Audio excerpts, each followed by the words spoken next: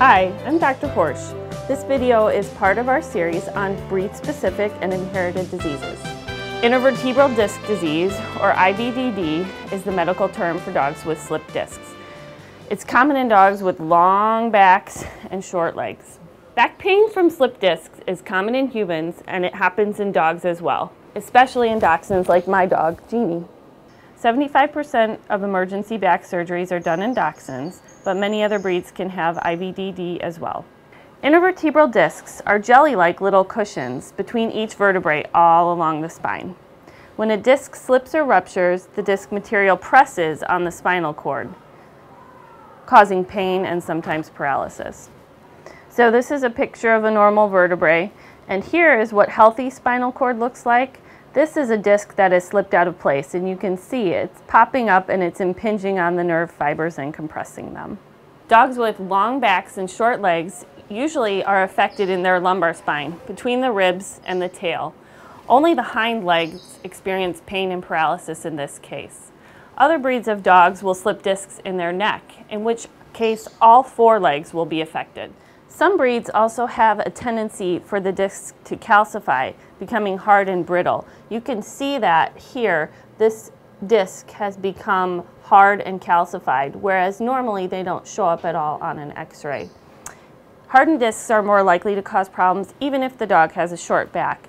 Beagles, for example, are not nearly as long and low as a Dachshund, Lhasa Apso, or Basset Hound, but they are still a common breed for slip discs because of the disc calcifying.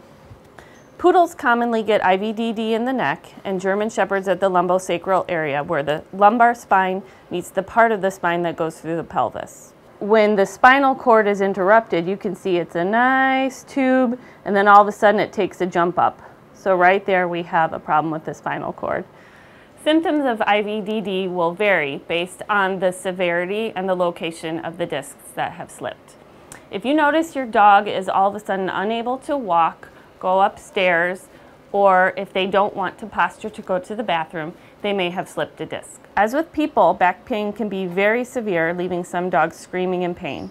They may cry when they're picked up, or if they have neck pain, they will cry if they try to turn or lower their head. They may drag their back feet or be suddenly paralyzed and unable to get up or use the back legs. If the disc has slipped in their neck, all four legs may be affected. If your dog is paralyzed, surgery may be needed to correct the problem. Surgery should be done within 24 hours and ideally within 12 hours if we wish to correct the problem. A myelogram, a CT, or an MRI will be done to see which discs have slipped out of place and then surgery will be performed to remove those discs. This is a very expensive set of tests and surgery, so we strongly recommend pet health insurance, especially for dachshunds.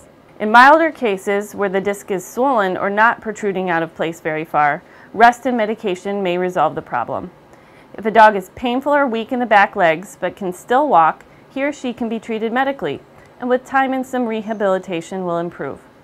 We can get an idea of how damaged the spinal cord is by checking reflexes to the feet.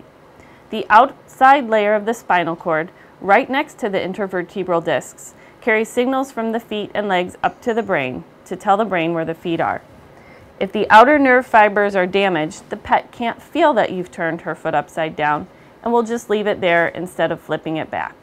Because basically the spinal cord relays messages from the foot all the way up to the brain and then back from the brain down to the foot. So if these spinal cord fibers are damaged, she'll just leave her foot like that and she won't flip it back over normally. Because this disease is so painful, never wait. Always have your dog examined immediately if he or she is showing any symptoms. If she seems weak, uncoordinated, or unable to walk in her back end, she should be seen. If it's on a night or a weekend, please go to the emergency hospital. Pain medication will be given as soon as possible, and then if surgery is not needed, we will prescribe a program for rest, medication, and rehabilitation. Ramps or steps should be used from puppyhood on so that susceptible dogs don't spend a lifetime stressing their backs, jumping up and down off the furniture. As with so many other diseases, weight control is essential for preventing intervertebral disc disease.